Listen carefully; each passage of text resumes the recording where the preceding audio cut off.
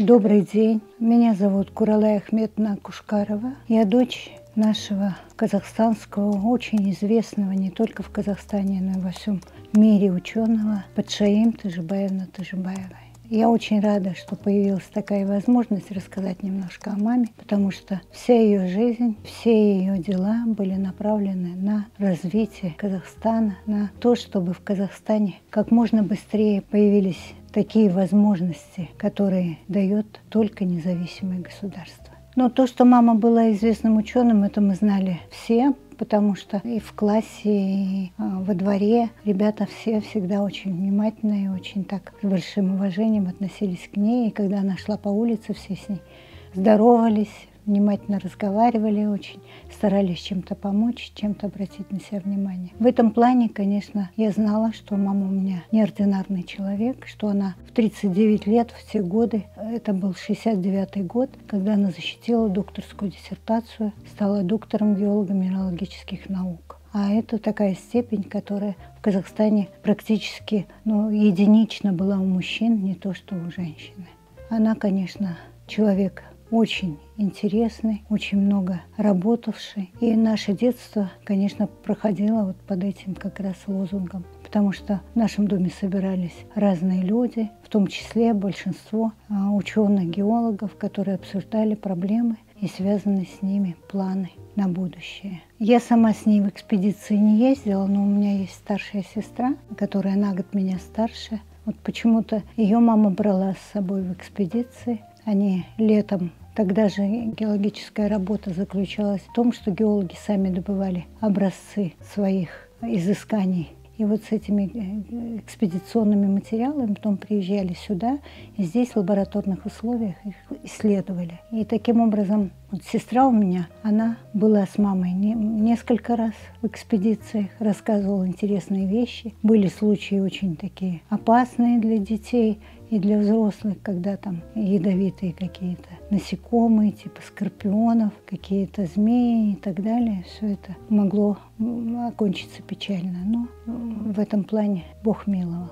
Вы знаете, я не геолог, я по специальности физик. Мама была геологом. У нее осталась большая школа, литологическая школа Казахстана, которую она, вообще говоря, и основала. Литология – это наука о глинах и глинистых минералах. О том, что я, насколько я понимаю ее, не будучи геологом, что осадочные породы, растворы этих глинистых материалов, они содержат в себе все те полезные ископаемые, которые потом при изучении дают картину геологам, где и как, в каких пластах лучше искать то или иное полезное ископаемое. Ее кандидатская диссертация была защищена на Урале профессора Седлецкого. Ее докторская диссертация была связана с медными рудами Джизгазгана. И она основала эту науку литологию. У нее э, много монографий, у нее большая школа здесь ребят, которые сейчас доктора наук, уже люди старше меня возрастом, есть мои ровесники, но мы их по старой привычке называем ребята. Как она их называла, так и мы. Я э, работала в физическом факультете Казахского национального университета имени Аль-Фараби. Всю жизнь проработала педагогом там же, в этом в Казгу.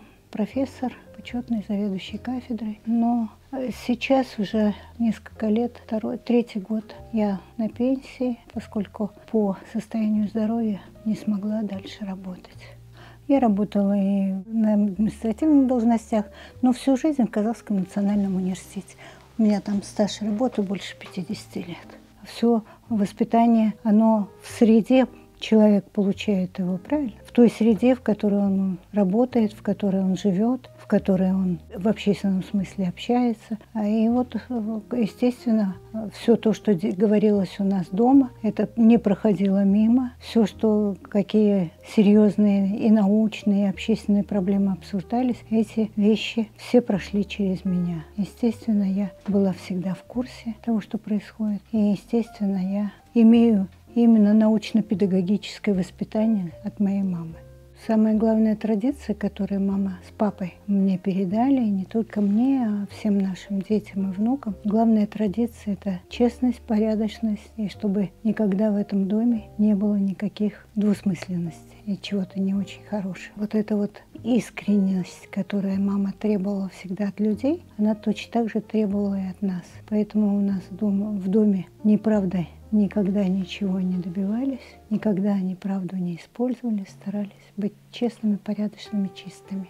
В этом плане она своим характером, знаете, оставила глубокий след среди той категории людей, которые с ней работали. Они все говорили, под Шеем Тажибаевна она бы не пропустила бы, вот, допустим, что-то, когда кто-то где-то нечестными какими-то путями пытался найти свое место повыше, то она бы не пропустила, она бы обязательно об этом высказала, обязательно бы сказала бы, обязательно потребовала бы человека заниматься только честно и в науке а, требовала чистоту.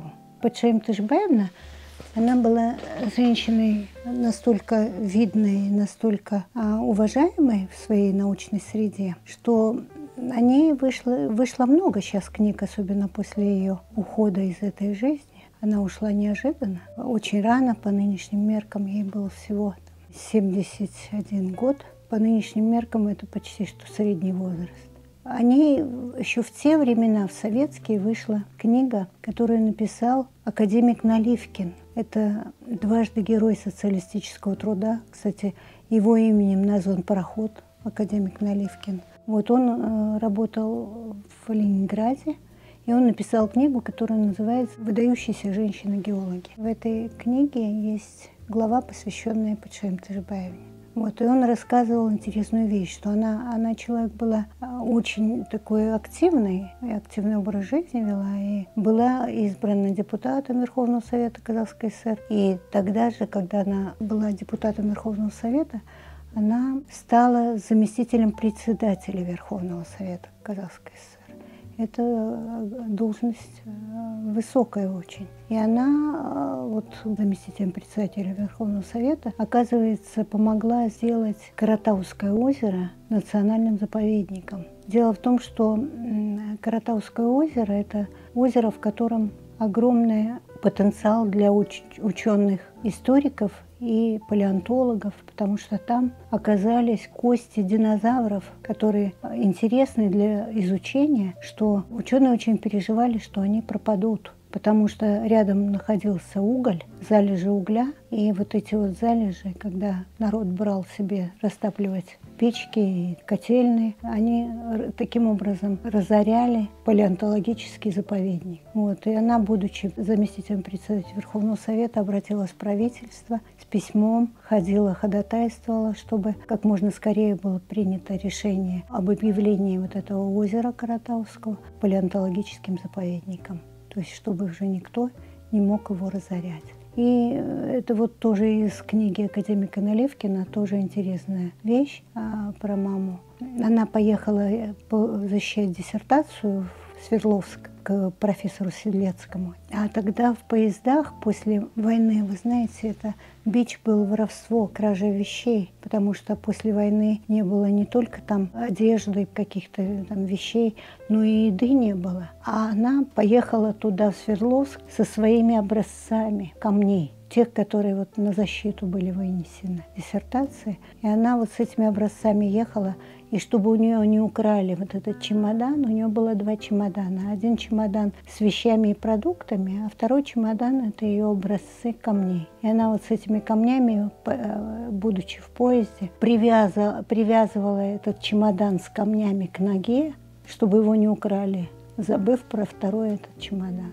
Настолько была предана своей работе, своим, своим научным исследованиям по жизни она такая же была. Все, что она делала, все она делала вот от души и полностью погружаясь в то дело, которым занималась. Вы знаете, во-первых, вот э, мы в прошлом году отметили ее столетие. Это было в Академии наук, в Институте геологических наук имени Сапаева, где она всю жизнь проработала. Вот там прошло столетие, и собрали всех ее учеников, естественно. Потом Институт геологических наук провел международную конференцию, посвященную памяти и а, вкладу выдающегося геолога Патшим Тажибаевны Тажибаевой. Приехали геологи из разных стран, ну, конечно, большая часть была страны СНГ потому что сейчас с научной точки зрения очень трудно найти спонсоров для поездок куда-то. И вот там выступал представитель телекомпании «Айрак», и он э, перед поездкой сюда, в Алмату, был в Джизгазгане, а там, где очень много лет проработала мама. То есть она каждое лето ездила в экспедицию в Джизгазган. Он говорит, что там очень большой раздел посвящен вкладу Патшаем Тышбаевой в развитие литологической науки Казахстана. Потом две школы в Южно-Казахстанской области. А одна в Казыгорте, другая в Ленгере. Носят имя Патшаем Тышбаева. Тышбаева. Улица есть и в, в Алмате, и в Шимкенте. Улица имени Патшаем Тышбаевой. Конечно, хотелось бы, чтобы ее наследие не забывалось, но пока живы ее ученики, пока работает сектор литологии, в котором она который она создавала. Пока они работают, пока они пишут свои научные статьи, пока они продолжают это дело, конечно, ее дело будет продолжать развиваться. Дело в том, что, конечно, развитие науки, оно, его не остановишь, потому что весь мир в любом случае прогрессирует. И без науки выжить нельзя, и без науки а, достичь какого-либо прогресса нельзя. Об этом знают все. Поэтому наука живет, развивается. Другое дело, что, конечно, хотелось бы, чтобы она развивалась гораздо быстрее.